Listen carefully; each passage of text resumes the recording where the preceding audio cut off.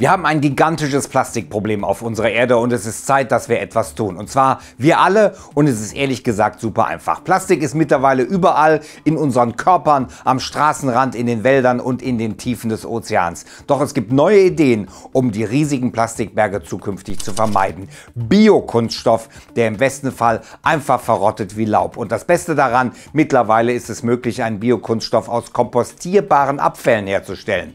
Und wie wir alle aktiv werden können, können. Das am Ende des Videos. Klicks und Science Fiction. Hier gibt es täglich spannende Wissenschaftsvideos. Abonniert den Kanal, nur dann verpasst ihr nichts. Los geht's. One, two. Herzlich willkommen.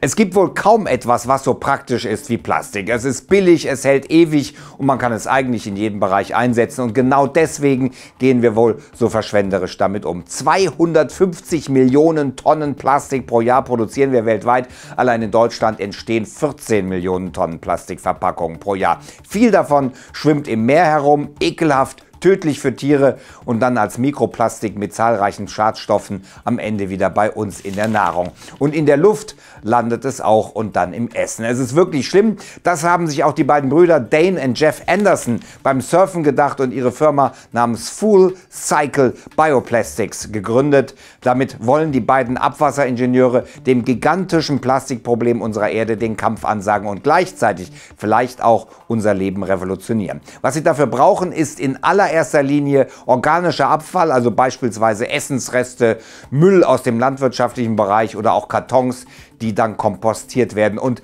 zwar in einer eigens von ihnen entwickelten Kompostieranlage. Darin laufen chemische Prozesse ab und am Ende gibt es dann ein Abwasser, das sehr viele Fettsäuren enthält. Durch den Einsatz von Bakterien werden dann genau diese Fettsäuren in Polyhydroxyfettsäuren, sogenanntes Mikrofett, verwandelt. Das ist eine zähe und milchige Masse, die man dann zur Verpackung pressen kann. Das Tolle an diesem Konzept, anders als andere Hersteller, werden hierbei keine extra Chemikalien oder extra gezüchtete Pflanzen benötigt.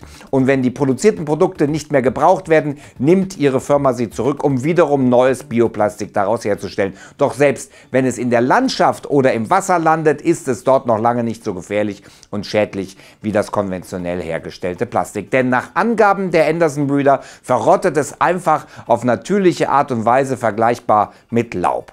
Wow!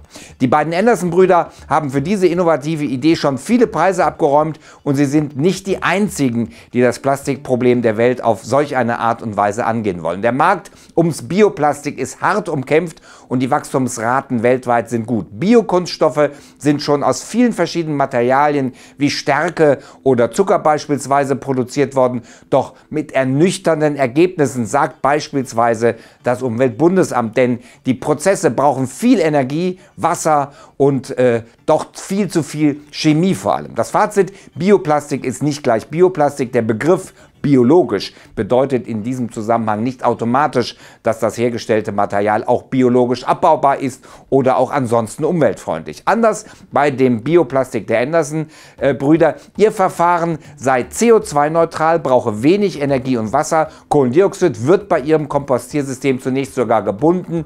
Wenn die Produkte dann später kompostiert werden, wird es allerdings wieder freigesetzt. Trotzdem, der Prozess setzt kein zusätzliches CO2 frei. Doch was genau ist das Problem? Warum Warum sind da nicht schon längst alle Plastikgegenstände dieser Welt abgeschafft worden? Die Andersen-Brüder sagen dazu realistischerweise, dass man bei Dingen, die sehr lange Zeit überdauern sollten, nicht mit Kompost arbeiten sollte. Ein Handy oder Tablet aus Biokunststoff wird es also erstmal nicht geben, dafür aber vielleicht andere unzählige Dinge, die eben nur einmal verwendet werden. Tüten, Einweggeschirr oder Verpackung. Damit sich das aber wirklich komplett durchsetzen kann, müssen solche Konzepte, Bioplastik herzustellen, deutlich günstiger werden denn nur dann kann mit der konventionellen Plastikindustrie mitgehalten werden. Doch die Chancen stehen gut, denn der einzige Rohstoff, der gebraucht wird, ist eben Abfall. Im Überfluss vorhanden und zudem kostenlos. Trotzdem, bisher liegt der Umsatz von Bioplastik in Deutschland wie in den meisten anderen Ländern dieser Welt bei gerade einmal knapp 2%. Doch die Zahlen steigen. Das Labor der Anderson-Brüder wird auch gerade erst noch fertig gebaut. Bisher wird nur ein Kilo von diesem Mikrofett pro Tag produziert. Aber nicht nur in den USA, sondern auch in Deutschland wird an solchen Konzepten getüftelt. Beispielsweise hat sich auch die Firma Biolutions aus Hamburg auf die Produktion von Bioplastik spezialisiert. Doch das Verfahren dazu ist anders. Die produzierten Verpackungen bestehen aus faserhaltigen Pflanzenabfall. Die Verpackungen von Gemüse und Obst beispielsweise also bestehen letztendlich aus Bananenstämmen, Tomatenstängeln oder Zuckerrohrblättern. Werden sie entsorgt, verrotten sie so wie Laub. Dieser sogenannte Faserguss, so heißt das Verfahren, funktioniert auch hier ohne zusätzliche Chemie. Konkret werden die Pflanzenreste hierbei zu Nano- und Mikrofasern zerkleinert. Wird Wasser hinzugefügt, entsteht ein Faserbrei, der dann in verschiedene Formen gepresst werden kann. Die Pilotfabrik dazu steht in Indien, denn dort ist das Plastikproblem noch größer als in Deutschland. Pro Monat entsteht derzeit in der Fabrik knapp eine Tonne Bioplastik. Bevor das ganze Konzept marktreif ist, kann schon jetzt jeder von uns etwas gegen die gigantische Menge an Plastikmüll tun.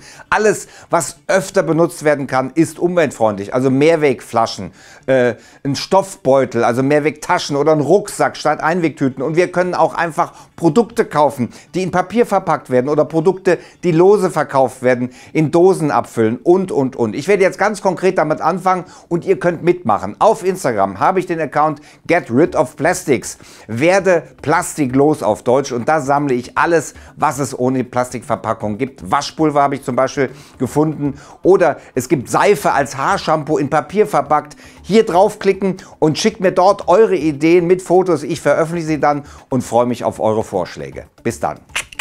Bleibt dran.